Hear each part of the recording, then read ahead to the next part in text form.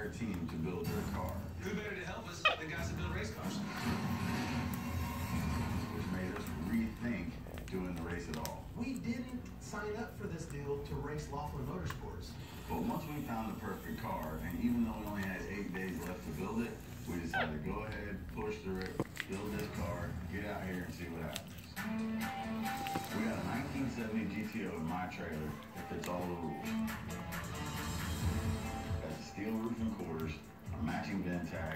Over 2,500 pounds, it's under 500 cubic inches, it's a 67 to 72 muscle car, and my ass will be behind the wheel.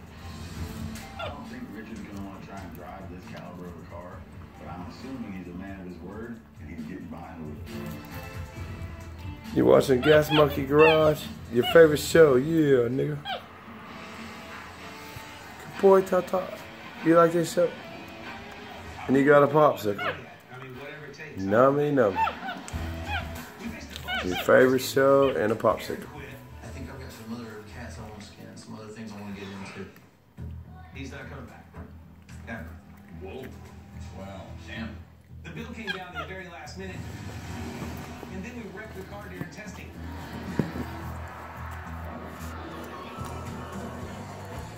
Hell, it was almost over before it began. Then we heard the place. Find a quarter, find a solution, beat it out. I don't care. We gotta be at the track in 48 hours. But we're gas monkey. We're here and we're ready. And we managed to get the car looking good, but we'll go down the track.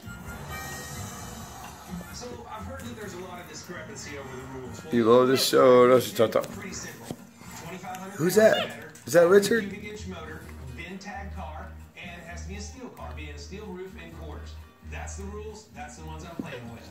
So let the game, or as I would say, the race begin.